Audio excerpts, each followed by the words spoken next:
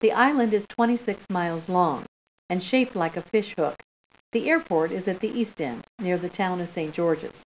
The main cruise ship terminal is at the west end in Dockyard. There are three main centers.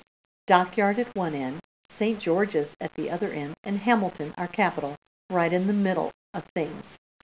Almost everywhere in Bermuda is within easy reach of our three main highways. If you can see beautiful beaches, you're on the South Shore Road. On the opposite side of the island is North Shore Road. Right down the middle is predictably Middle Road. This road that hugs Hamilton Harbor is called, surprise, surprise, Harbor Road. It's easy to get around Bermuda on your oleander scooter. Still, it's a sensible idea to carry around this useful little map. It's available free right here.